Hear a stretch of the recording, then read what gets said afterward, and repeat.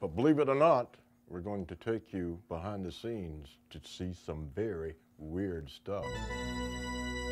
Ripley's incredible collection is showcased in 29 museums across 10 countries. What's this, a piece of your sidewalk? Well, Charlie, it's not a sidewalk, it's a wall. What kind of wall?